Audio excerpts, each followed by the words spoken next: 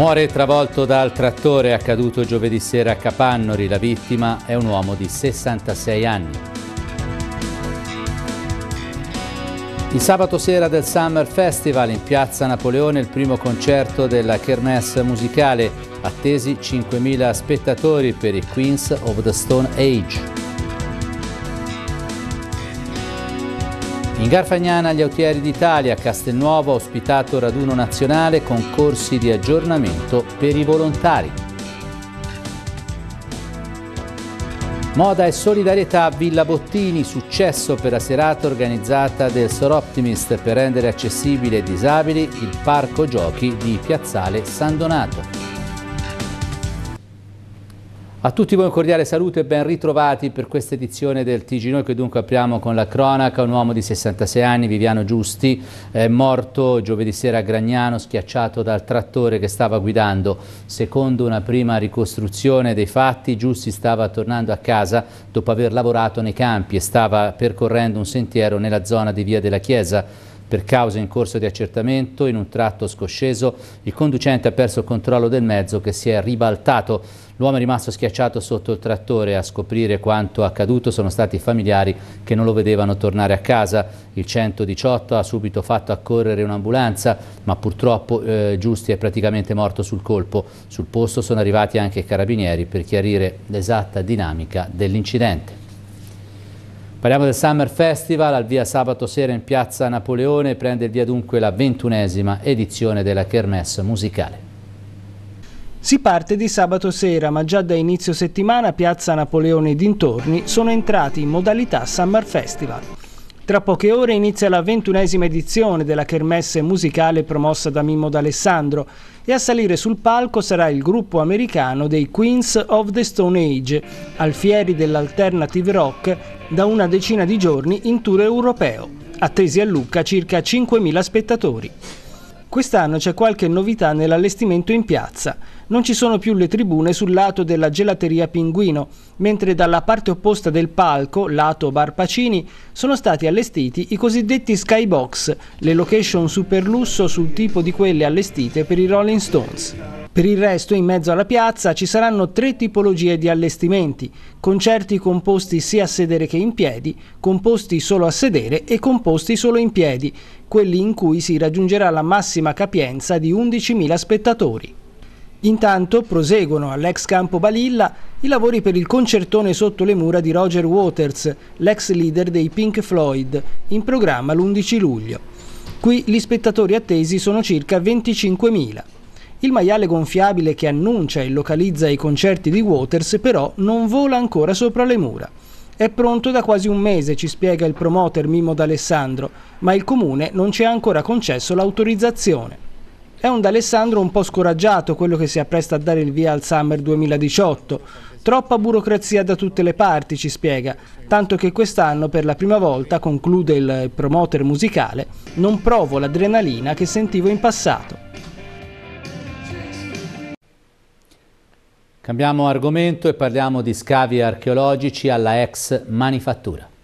I lavori di ristrutturazione alla ex manifattura stanno portando alla luce anche vari reperti archeologici e per un pomeriggio gli scavi nel vasto cortile centrale sono stati aperti al pubblico per le visite guidate dalle archeologhe Elisabetta Bella, Serena Cenni e Maila Franceschini. I visitatori hanno potuto così vedere la poderosa struttura muraria tornata alla luce. Potrebbe essere un tratto della fortezza Augusta, fatta costruire da Castruccio Castracani nel 1300, una parte della quale era già stata ritrovata nella parte nord della manifattura. Tra gli altri ritrovamenti, un tratto dell'antica via degli Stipari, in particolare è stato riportato alla luce lo spettacolare ammattonato risalente al XIII secolo. Infine, nei livelli più profondi sono state individuate anche alcune sepolture, risalenti probabilmente alla necropoli che si estendeva all'interno delle mura romane. Al di là degli scavi archeologici, i lavori di restauro continuano, ma per quando è previsto il loro termine? Beh, noi pensiamo che entro la fine dell'anno questo primo lotto possa essere concluso, ma sarebbe interessante entro la fine dell'anno avere l'idea generale di ciò che dovrà essere anche il resto, perché come vedete la parte restaurata è appena un terzo, forse meno di un terzo della, delle parti che ancora restano eh, da...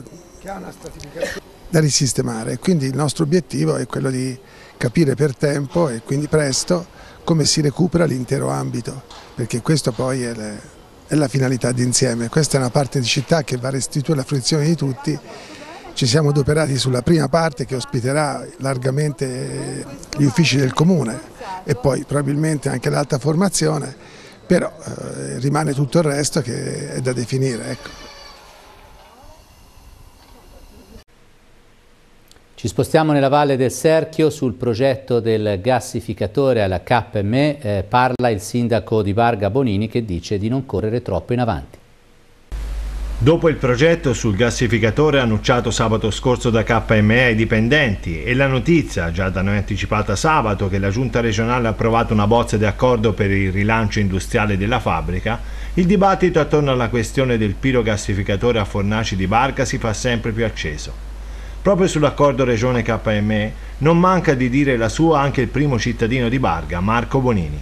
Sì, noi siamo per tenere distinte le, le cose, ovviamente siamo favorevoli alla proroga degli ammortizzatori sociali in scadenza a settembre prossimo. Per quanto riguarda l'impianto di produzione di energia elettrica chiediamo ancora una volta che non vengano fatte fughe in avanti, né da parte dell'azienda né da parte della regione, bypassando il comune e i cittadini che il comune rappresenta. Eh, su questo c'è molta attenzione come è giusto che sia, noi abbiamo chiesto di analizzare attentamente il progetto quando questo progetto ci sarà, siccome dobbiamo dare il parere urbanistico per andare eventualmente avanti, è chiaro che eh, siamo interessati a mantenere l'occupazione della nostra valle, quindi a mantenere l'occupazione di KME, ma mai faremo questo a danno della salute dei cittadini. Per cui su questo argomento chiediamo che ci sia ma maggior coordinazione da parte di tutti e che nessuno tenti appunto di eh, scavalcare l'ente locale. Intanto, per lunedì, al Mise a Roma, si terrà il previsto incontro tra il Ministero, KME e sindacati. Principale punto all'ordine del giorno, come dice anche Giacomo Saisi della Wilm, proprio il piano di rilancio ed a margine anche la questione ammortizzatori sociali che scadranno a settembre. Tre borse di studio in memoria di Pierluigi Guidi. Tre studenti dell'Istituto Superiore di Studi Musicali Luigi Boccherini si sono aggiudicati altrettante borse di studio istituite grazie alla generosità di Anna Maria Stefani, che ha voluto dedicarle alla memoria del marito Pierluigi Guidi. Severissima la selezione, con gli aspiranti borsisti che hanno dovuto superare un complesso esame che prevedeva l'esecuzione di programmi di una durata compresa tra i 20 e i 50 minuti, a seconda del livello degli studenti. Nonostante la difficoltà del concorso, si sono presentati 19 studenti provenienti anche dall'estero, iscritti alle classi di chitarra, pianoforte, flauto, viola, clarinetto e canto. A vincere la selezione sono state tre ragazze, la chitarrista Monica Maldonado, la soprano Greta Doveri e la flautista Chiara Foti. Eh, la prima di tutti, eh, insomma, diciamo un po' idealmente, è ehm, che è arrivata alla conclusione e allora ho voluto fare qualcosa di, di bello e di buono e quindi trovando, insomma, cercando con, con questi giovani di incoraggiare i giovani all'impegno, alla bravura e quindi a un futuro migliore. Ecco. Raduno nazionale degli autieri che si sono ritrovati per tre giorni a Castelnuovo Garfagnana. Durante lo scorso weekend i rappresentanti dell'Associazione Nazionale Autieri d'Italia, provenienti da tutta la penisola, si sono ritrovati per tre giorni a Castelnuovo Garfagnana. Lo scopo principale era quello di fare aggiornamenti e stage con prove pratiche, in quanto l'associazione riveste un ruolo importante nello scacchiere del volontariato nazionale. Del resto in questi ultimi anni è giusto dire che grazie alla professionalità e all'impegno il gruppo Garfagnino degli Autieri si è messo in grande evidenza, soprattutto in virtù degli interventi compiuti nelle zone terremotate del centro Italia. Durante la tre giorni del raduno si sono svolte prove pratiche teoriche con corsi di aggiornamento per i volontari. Al termine della manifestazione Massimo Turri, instancabile presidente del gruppo Garfagnino, ha palesato tutta la propria soddisfazione. Sì, si è trattato di fare un'esercitazione nazionale i, sui tre moduli più importanti della nostra colonna mobile nazionale, l'idrogeologico, la segreteria da campo e la cucina.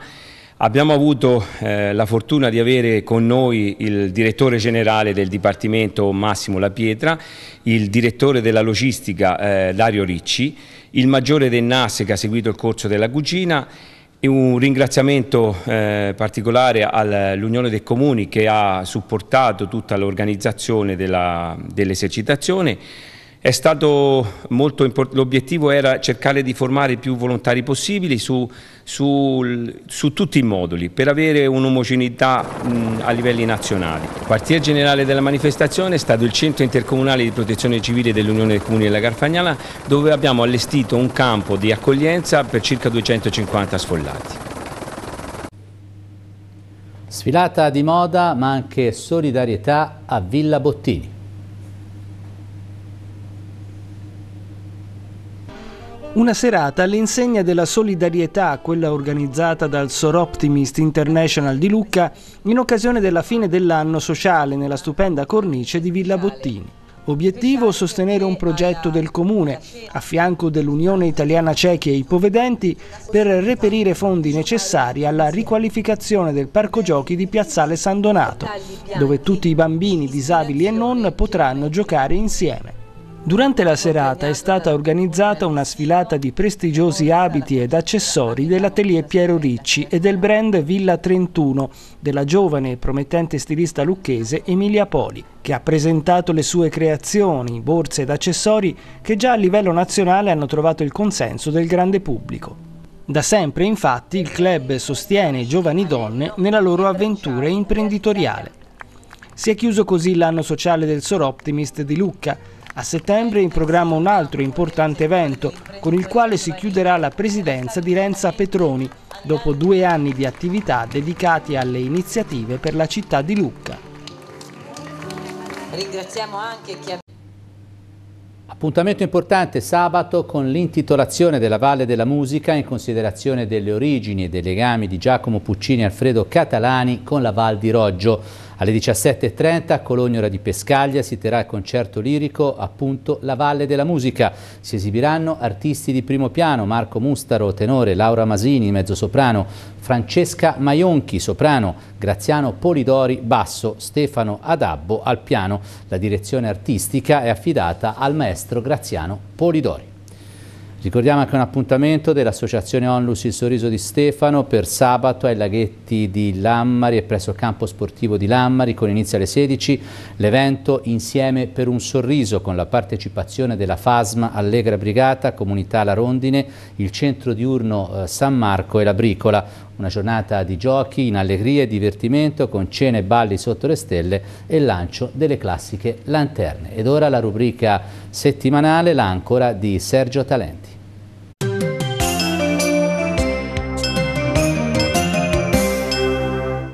Il 19 giugno del 1996 oltre un milione di metri cubi di materiali fra pietrame, fango, alberi, trascinato a valle da una paurosa valanga d'acqua, si abbatte sul paese di Cardoso, facendone sparire una buona parte. Erano le 13.50 ed era buio. A Viareggio invece c'era il sole e proprio da Viareggio si poteva vedere quella nuvola nera, notturna quasi, incombere su un territorio che sarebbe cambiato per sempre. 13 morti, un disperso e un dolore che non si fa raccontare, ma anche la determinazione di una risposta al dramma. Così la Regione Toscana nomina subito, immediatamente, un commissario unico straordinario addetto alla ricostruzione, che in cinque anni è compiuta e in cinque anni l'intera area viene restituita alle sue popolazioni. La lezione che viene da Cardoso è duplice. Anzitutto dice che l'onestà, non quella gridata, ma quella realizzata in silenzio, è la vera forza di una comunità. Poi dice anche che l'indipendenza delle istituzioni locali è decisiva alla soluzione dei problemi e anche al contrasto di pratiche corruttive, sempre in agguato in questo infelice paese.